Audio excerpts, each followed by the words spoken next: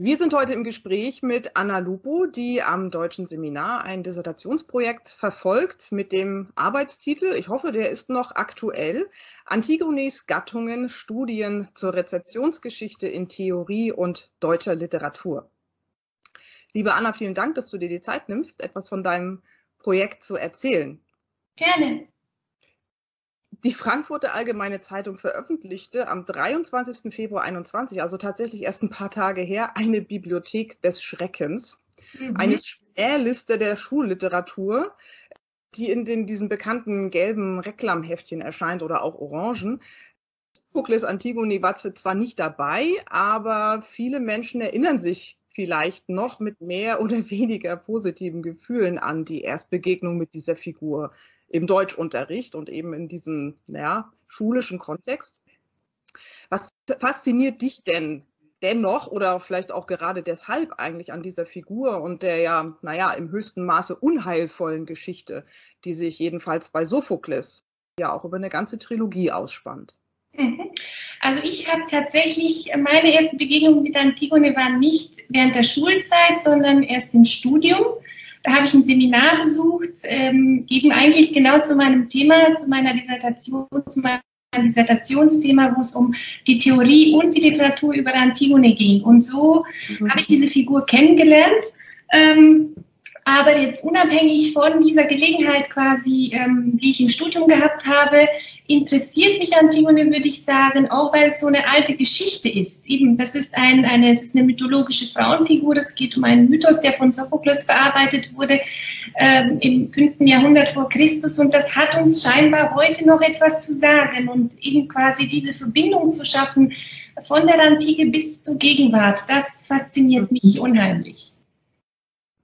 Ja, aber wenn man sich so die Themen anschaut, die da verhandelt werden, so Inzest, Rache, Tyrannei, Suizid, natürlich also die Figur der Antigone, die sich dann diesem Terror des Staates widersetzt. Also sie ja. ähm, lässt ja ihren Bruder Polyneikes gegen den Willen Kreons bestatten.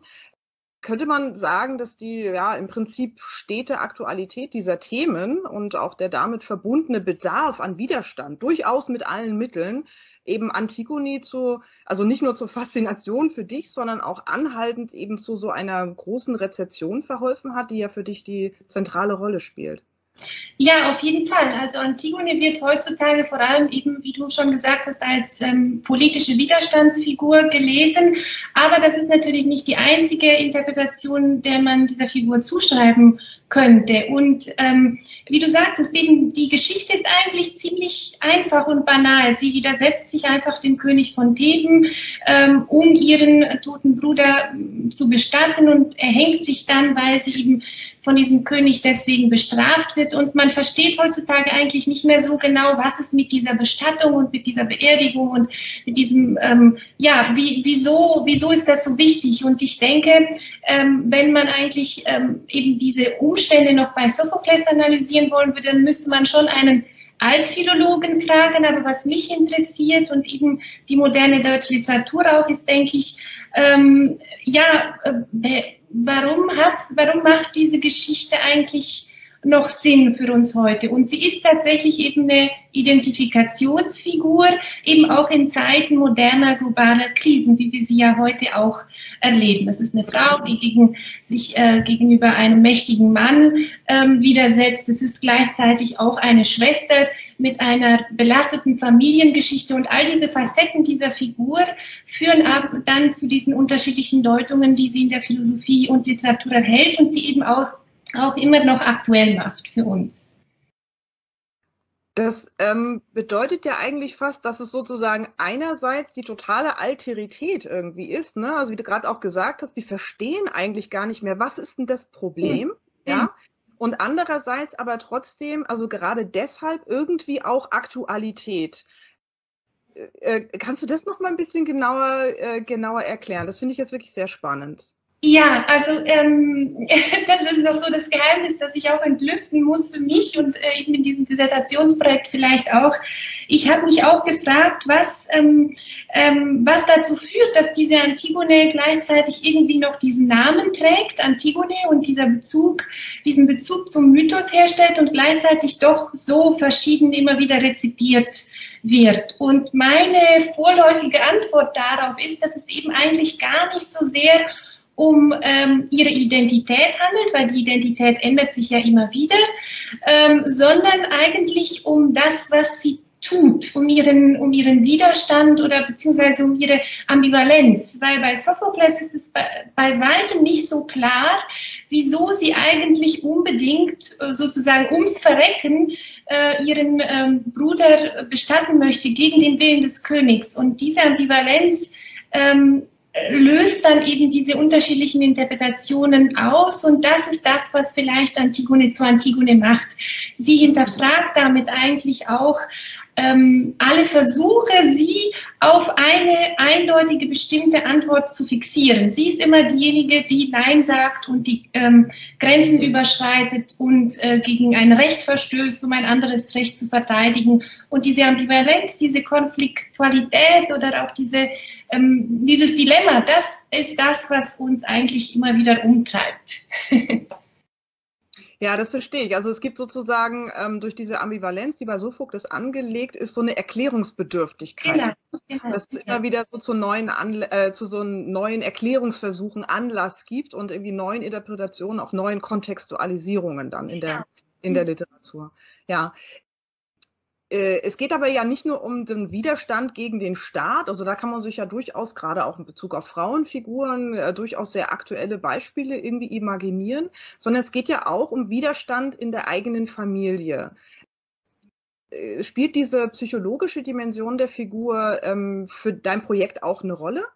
Ja, auf jeden Fall einen ganz wichtigen, und zwar sowohl in der Theorie ähm, als auch in der Literatur.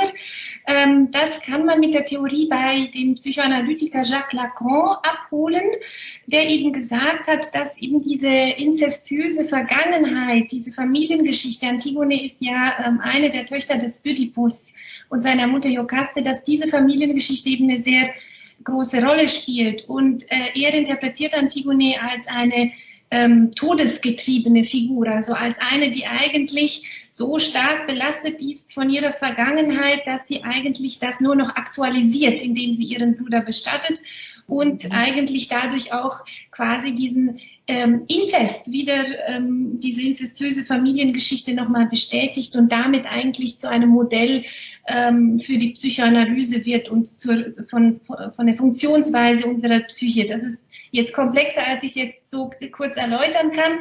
Und, ähm, aber in der Literatur spielt es dann auch ähm, eben eine Rolle, eben nicht nur in der Psychoanalyse, sondern auch als ähm, Psychologisierung dieser Figur. Eben bei Hölderlin, also ganz, ganz am Anfang ihrer literarischen modernen Rezeption, ist sie da eben eine Figur, die ähm, deren Schicksal eben eigentlich nicht mehr vom, vom ähm, Rat der Götter abhängt, sondern eigentlich sie äh, ist selbst für ihr Schicksal verantwortlich und sie unterliegt der Macht der Wörter eigentlich und nicht mehr der Macht der Götter. Und diese Verschiebung eigentlich vom, vom unabwendbaren Schicksal, das außerhalb des Menschen liegt, zum ähm, selbst, ähm, selbst geschmiedeten eigenen Schicksal bei Hölderlin, das ist so auch ein Turn in dieser ähm, Antigone-Figur und in der Tatsache, dass sie eben sehr stark psychologisch auch ähm, wahrgenommen und interpretiert wird. Mhm. Ja, genau, vielen Dank. Also du hast äh, das, äh, genau eine super Überleitung. Du hast jetzt schon zwei Texte genannt, also ein, einen theoretischen, ähm, also Lacan oder ein, ein Komplex äh, von Texten und ähm, Hölderlin vielleicht, bevor wir weitersprechen, ähm, kannst du noch ein paar mehr Texte nennen, die irgendwie zu deinem Korpus gehören? Oder, also oft ist es ja so, dass sich so ein Korpus auch immer noch so verändert, aber was ist jetzt so zur Zeit irgendwie auf deinem Schreibtisch? Ja, also ähm, wenn man jetzt die ähm, Rezeption in der Philosophie anschaut, dann ähm, bin ich quasi sozusagen gezwungen, bei Hegel anzufangen, weil da ähm, startet ja die moderne Rezeptionsgeschichte auch und äh, geht dann eben über Goethe, Schelling, äh, Lacan, Kierkegaard, Heidegger bis zu ähm, Butler. Das ist so die kanonische theoretische Rezeption, die aber eigentlich eine kleinere Rolle in meinem Projekt spielt, weil es eben doch ähm, noch stärker um die Literatur geht. Und da fange ich parallel zu Hegel, Hegel auch bei Hölderlin an, wie schon gesagt, gehe dann rüber zu Brecht. Das sind so die zwei Autoren, die eigentlich, glaube ich, noch allen mehr oder weniger bekannt sein sollten und dann mit einem starken Fokus im 20. Jahrhundert mit Autoren, die eben weniger bekannt sind. Hasenkleber, aber auch Anouilh aus der französischen Rezeption, vielleicht aus der Schullektüre noch ähm, in Erinnerung. Und dann eben Elisabeth Langesser, Grete Weil, Rolf Hochhuth, aber auch Julie C. und Feridun Zainoglu. Das sind so, das ist so mein, mein Korpus. Das sind die Schriftstellerinnen und Schriftsteller, die ich mir anschaue. Mhm. Das ist ein ziemlich großer Stapel jetzt also auf deinem Schreibtisch. ähm, und ja. also das sind ja so diese zwei Komplexe, einmal literarische Rezeption ne? und dann die theoretische Rezeption. Also äh, methodisch soll es dir ja, glaube ich, wenn ich das recht verstanden habe, eben um das Verhältnis zwischen den literarischen Antigone-Bearbeitungen und sozusagen diskursgeschichtlich den weitaus vielleicht sogar erfolgreicheren Antigone-Theorien gehen. Mhm. Ähm, und das ist ja eine gattungstheoretische Perspektive, ja. richtig? Ja. Ähm, also wie kann man sich das vorstellen? Also ich bin eigentlich von der Beobachtung ausgegangen, dass in der Antigone-Rezeption eben die Philosophie extrem dominant ist. Also wenn man von Antigone redet, dann hat man eigentlich Hegel im Kopf, dann hat man eben die Familie gegen den Staat, Antigone gegen Creon und da, darauf bezieht sich dann auch die ganze Philosophie. Immer, sie gehen immer zurück zu Hegel und versuchen eigentlich zu widerlegen, was Hegel gesagt hat. Und eben, wenn man von Antigone redet, dann hat man eben diese philosophische Rezeption im Kopf und nicht so sehr die Literatur, obwohl die ja eigentlich auch sehr, sehr vielfältig und facettenreich ist und vor allem noch nie so in einer Reihe gestellt worden ist. Ja, und ich schaue mir jetzt eben, ähm, ich versuche dann ähm, Literatur und Philosophie irgendwie in Verhältnis zu setzen über die Gattung und äh, über dieses Gattungsargument und das so ganz knapp und kurz gesagt, ähm, ähm, das könnte man ja so sagen, eben die, die Philosophie versucht, indem sie sich immer wieder auf Hegel bezieht, eigentlich eine Tragödientheorie zu machen. Also wir haben hier mit der Tragödie mit der Tragödie, mit der Gattung der Tragödie zu tun. Sie beziehen sich alle auf Hegel, der sich auf Sophokles bezogen hat. Und diese Rezeption der Philosophie findet immer nur innerhalb der Gattung der Tragödie statt. Wohingegen aber in der Literatur, wenn man sich das anschaut, geht es eigentlich nicht so sehr um die Tragödie. Die spielt bei Hölderlin noch eine Rolle, aber da ist sie ja auch eine moderne äh, Gattung, sondern ähm, da kommt Antigone auch als legendarische, als novellistische vor, auch in einem Roman vor, auch als Erzählung. Also ähm, noch viel ähm, lebhafter irgendwie als in der Theorie, wo es eigentlich immer um diese Tragödie geht und um einen stark negativ behafteten Diskurs auch. Und das ist so, ähm, dieses Gattungsargument soll eben quasi die Brücke schaffen zwischen Philosophie und Literatur. Ich hoffe, dass ich genug verständlich war. Ja, also ich, äh, ähm, ich kann mir das äh, sehr gut vorstellen. Ähm, also es geht ja dann eben auch also um eine, quasi eine Rehabilitation oder gar nicht eine Rehabilitation, sondern irgendwie eher irgendwie doch, ja genau, eine Aufwertung irgendwie der literarischen Rezeption, weil sie hinter ähm, der philosophischen ähm, Theorie also so eigentlich stiefmütterlich behandelt wurde, oder? Ja, ja. Hm, ja, genau. Ähm, also das bedeutet ja auch, dass die von den späteren AutorInnen gewählten literarischen Gattungen, also das ist eine ganze Reihe genannt, die eben nicht Tragödien sind, mhm. aber auch mit ihren jeweiligen Vorgaben die Rezeptionsweise und die Interpretation des Textes und vor allem natürlich das Verständnis der Figur Antigone bestimmen. Richtig? Ja. Genau. Kannst, magst du das vielleicht irgendwie an einem, an einem deiner Texte, ähm, vielleicht einer, der dir besonders am Herzen liegt, nochmal ein bisschen näher erläutern? Ähm, ja, gerne. Also ich könnte ja wieder bei Hölderlin anknüpfen. Da habe ich ja schon gesagt, dass eben ähm, Hölderlin ähm, das Genre der Tragödie modernisiert. Also er macht, der übersetzt eigentlich Sophokles, aber das ist dann eben nicht mehr dieser Sophokles, der in der Antike da war, sondern eigentlich eine moderne Tragödie. Und an Hölderlin knüpft dann eben Brecht an. Und Brecht, was macht Brecht? Ähm, ähm, der ja, knüpft bei Hölderlin an eigentlich, um nicht nur diese Antigone-Figur, wie ich schon sagte, zu äh, psychologisieren, sondern sie eigentlich und vor allem zu aktualisieren. Also Antigone wird bei Brecht dann völlig im Kontext des Zweiten Weltkriegs versetzt und ähm, zu einer Widerstandsfigur nobilitiert. Aber Brecht geht es wahrscheinlich eher nicht so sehr um, um den Widerstand, sondern um, ähm, ja, um, um die Problematik, ähm, die, mit, die mit diesem Krieg zusammenhängt und was das mit den Menschen macht. Und ja, inwiefern hat das jetzt mit der Gattung zu tun? Eben Hölderlin ist eine Voraussetzung, eben die Psychologisierung und die Modernisierung der Gattung Tragödie bei Hölderlin ist eine Voraussetzung dafür, dass Brecht dann eben Antigone wieder ähm, zu einer Widerstandsfigur eigentlich bearbeiten kann und, und sie in einem aktuellen geschichtlichen Kontext versetzen kann. Mhm. Äh, stellt sich mir noch die Frage, ob sich in der theoretischen, äh, nee, ob sich die theoretische Rezeption in der literarischen Rezeption also recht explizit wiederfindet, so dass man vielleicht auch da eine poetologische Auseinandersetzung sehen kann. Also setzen sich literarische Texte, vielleicht so auch die ganz modernen, jetzt zum mhm. Beispiel irgendwie mit der äh, Antigone-Theorie ähm, bei Judith Butler auseinander? Und gibt, mhm. es da so ein, gibt es da so einen Reflex?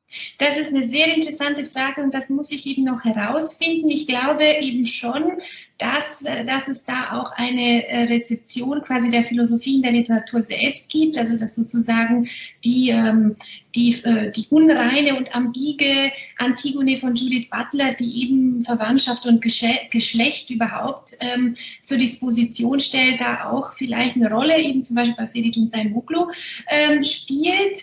Ähm, es gibt sogar ähm, den Philosophen ähm, Zizek, der auch ähm, ein Theaterstück ähm, geschrieben hat, Die drei Leben der Antigone, wo sich eben genau das verbindet, eben philosophisch, philosophische Zitate und literarische Bearbeitungen der Antigone. Äh, und das muss ich mir dann aber noch genauer anschauen, wie, was das da für eine Rolle spielt oder ob das auch so eine Verbindungslinie sein könnte zwischen Theorie und, und Literatur. Auf jeden Fall eine sehr, äh, eine sehr spannende Frage. Mhm. Ja, genau. Also das äh, würde mich dann auf jeden Fall auch interessieren. Da freue ich mich schon darauf, also auf deine Auseinandersetzung. Du hast es gerade auch schon gesagt und du hast auch schon äh, Zaimuglos Roman genannt. Also Antigone nochmal, ne, ambivalent, eigentlich ja keine strahlende Heldin und irgendwie ja auch im Suizid nicht gerade zur Nachahmung empfohlen. Ne? Das hat man ja auch so in anderen legendarischen Texten. Ähm, also der Märtyrer also gut und schön, der beste Heilige, aber äh, zur Nachahmung nicht gerade geeignet. ja. Äh, aber dieser, der politische Widerstand, ähm, wie schon gesagt, also das ist halt irgendwie besonders aktuell. Aber gibt es, würdest du sagen, ähm, einen Kern dieser Figur in der literarischen Tradition, ähm, also nicht diese theoretische Schrumpfform, von der du schon gerade sprachst, mhm. sondern gibt es sozusagen einen, einen Persönlichkeitskern, ja, vielleicht ähm, dieser Figur, der sich durch alle Rezeptionen eben auch bis zu Zaimoglos Roman, also die Geschichte der Frau, 2019 erst erschienen, also aktueller geht es kaum, immer gleich bleibt. Und wenn ja, welche ist das? Oder welcher Kern ist das? Ja, eben das habe ich eigentlich schon an, angesprochen, als ich ähm, von der ähm, Ambivalenz ähm, geredet habe, nämlich ich glaube, es ist tatsächlich dieses Nein sagen, dieses ähm, Grenzen überschreiten und, und sich ähm, durchsetzen wollen. Und das ist etwas, was sehr, sehr schwierig ist. Also eben weil Antigone ja irgendwie doch nicht ähm, zur Nachahmung da sein sollte, wenn man sie bei, beim Wort nimmt ähm, und anschaut, was, wo, wo quasi was ihr, wo, wozu ihr Handeln geführt hat. Eben, es ist eine Tragödie, das hat sie im Tod geführt, zum, zum Suizid. Aber trotzdem ähm, ist das vielleicht doch der Kern, dass, ähm, dass diese Ambivalenz oder diese Widerständigkeit ähm, ja doch nicht sich nicht vereindeutigen lässt. Also Antigone ist nicht eine Figur, die klare Antworten liefert auf unsere Probleme, seien sie in der Antike, seien sie im 19. Jahrhundert oder heute, sondern ähm, sie ist eine Figur, die eben eigentlich immer wieder ähm, diese ähm, Konfliktfelder und die ethischen und politischen Probleme unserer Zeit immer neu zur Disposition stellt und eigentlich in ihrer Komplexität, auch in ihrer ästhetischen Komplexität aufzeigt und ähm, ja und dazu auffordert eigentlich mit dieser äh, mit diesen Ambivalenzen und mit diesen Ambiguitäten auch umzugehen und ähm, und darin ein, ja das auszuhalten und ähm, sich immer wieder neu zu fragen, was, ähm, was unsere Zeit ausmacht, was, was den Menschen ausmacht und was sind so die Sachen, mit denen wir uns schlagen und uns ähm, konfrontieren, bis ähm, von lokaler zu globaler, e, auf globaler Ebene auch. Ja, das ist jetzt ja so eine fast so eine äh, also eine sehr, sehr positive äh, Kennzeichnung auch dieser Figur. Ähm, jetzt so von deiner Seite auch völlig nachvollziehbar, aber so in der Rezeption gibt es da auch ganz kritische Auseinandersetzungen. Also wirklich so die dann, wo Antigone zu ihrer eigenen Karikatur wird oder sind das dann literarische Experimente oder haben die dann ihren gesellschaftlichen Ort? Kann man da, kann man da sowas sehen? Nein, also ich habe das noch bisher noch nicht entdeckt, muss ich sagen. Also es, es ist, ähm, es ist tatsächlich eine Figur, die immer ganz ernst genommen wird und die auch, ähm, ähm, soweit meine These, sowohl in der Philosophie als auch in der Literatur, sie eigentlich dafür benutzt wird, um darüber nachzudenken, was eben den Menschen ausmacht in einer bestimmten Zeit. Also sie ist sozusagen so ähm, ein Modell für die Conditio Humana zu einer bestimmten Zeit. Sie, sie, sie ist Trägerin eines bestimmten Menschenbildes und deswegen eigentlich ist sie, die, saugt sie eigentlich all die ähm, Fragen auf, mit denen denen sich Menschen ähm, in einer bestimmten historischen Situation konfrontiert sehen. Also eigentlich immer eine sehr seriöse ähm, ähm, Figur und ähm, ja, sie wird, soweit ich weiß, auch ähm, äh, als Comic ähm, äh, äh, verhandelt, aber da, ja, es geht eigentlich immer um, um diese schwierigen Themen und nicht so sehr ähm, um ähm, ähm, um die Karikatur Antigone. Vielleicht als, äh, vielleicht als Terroristin könnte man sie auch noch bezeichnen, aber das ist ja auch äh, doch auch wieder sehr negativ behaftet. Mhm, ja, genau, aber nicht weniger ernsthaft dadurch. Ja, genau, richtig. Vielleicht ähm, ganz kurz, dann geht es ein bisschen von deinem eigenen Projekt vielleicht weg, aber ähm, beschäftigst oder interessierst du dich für ähm, auch bildliche Darstellung der Antigone? Da wird es ja auch sicher eine, eine Tradition geben, die ja da auch mit im Zusammenhang steht. Ja, also da muss ich sagen, da kenne ich mich sehr wenig aus, obwohl ich, äh, ich habe ja auch Kunstgeschichte studiert und das wäre äh, durchaus äh, sehr äh, in meinem Interesse davon, mehr darüber zu wissen. Und tatsächlich ist es so, dass man sich ja auch oft ein Bild von Antigone macht, wenn man sich äh, berühmte Darstellungen ähm, in der Bildgeschichte anschaut. Ähm, was da, also das, was mir jetzt gerade so spontan in den Sinn kommt, ähm, der Moment, in dem Antigone eigentlich immer ähm, fokussiert wird oder dargestellt wird, das ist eben dieser Moment der, ähm, der Bestattung, in dem sie da über ihren toten, toten Bruder ähm, liegt und eigentlich von diesen Wächtern, die von dem König geschickt wurden, um äh, dieses, diesen Leichnam zu bewachen, ähm, da weggezogen wird. Also sie ist eine, die irgendwie ähm, eben einfach diese Grenze überschreitet, die, diese, die sie nicht überschreiten sollte. Und genau in diesem Moment wird sie dann auch ähm, von der Kunstgeschichte ähm, in den Blick genommen. Das ist sehr interessant, denke ich. Mhm, ja, ist auf jeden Fall eine, eine sehr spannende Konvergenz. Letzte, letzte Frage, wie sieht denn jetzt deine, dein Arbeitsplan aus? Also was ist so ein bisschen deine Methode, um in die Arbeit so richtig einzusteigen?